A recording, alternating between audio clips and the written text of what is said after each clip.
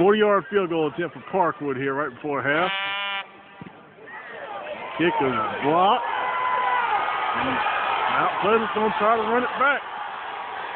He's down the sideline. As he goes. Looks like he does. Watt field goal return for a touchdown. Last play of the half by number 25 for Mount Pleasant. Ain't that something?